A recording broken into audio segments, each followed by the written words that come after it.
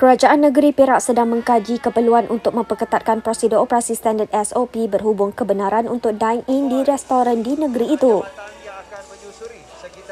Pengerusi Jawatan Kuasa Perumahan Kerajaan Tempatan dan Pelancongan Negeri Datuk Noli Ashilin Muhammad Razim berkata ia sebagai langkah bersiap sedia memastikan aspek keselamatan terjamin bagi pelanggan dan juga pengusaha restoran. Beliau berkata demikian selepas melancarkan kempen Kibar Jalur Gemilang di hadapan pintu masuk Universiti Tunku Abdul Rahman.